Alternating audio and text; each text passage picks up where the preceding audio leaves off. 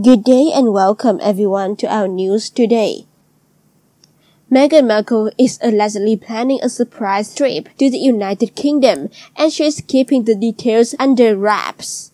In its September 20 issue, Women's Day claimed that Markle doesn't want Queen Elizabeth to know about the trip because she wants to surprise her.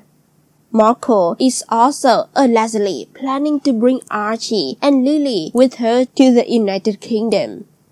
However, the Queen's palace staff has secretly informed her about Marco's plans and they are also urging the monarch to be careful. After all, the Queen's staff is convinced that Marco will return to the United Kingdom on a mission.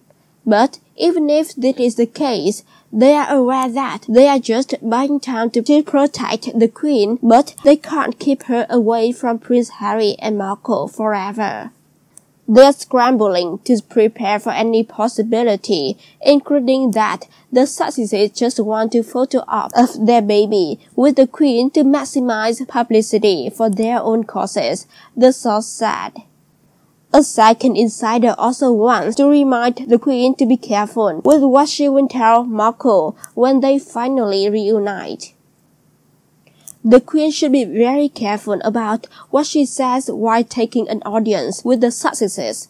There is absolutely no trust anymore.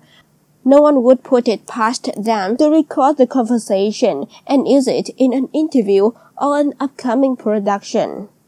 Months ago, there were absurd claims that Prince Harry recorded his conversations with the royal family when he returned to the United Kingdom for Prince Philip's funeral. And there are new suggestions that Markle would do the same when she finally sets foot in the United Kingdom and reunites with Her Majesty. Unfortunately, no one is allegedly happy to learn about Marco's plan to return home and it also seems fishy that she won't be going to her husband's hometown with Prince Harry. However, one should take the tabloid claims with a grain of salt. Markle has no plans to return to the UK, and if she's flying there, she will most likely be joined by Prince Harry. During the same reunion, regardless of when it would be, Prince Harry and Markle want to record their conversations with Her Majesty as a sign of respect for her. And that brings us to the end of the news today. Hope you enjoy it. Please click the like and subscribe to our news channel for more. Thanks for listening and stay safe everyone. Have a nice day.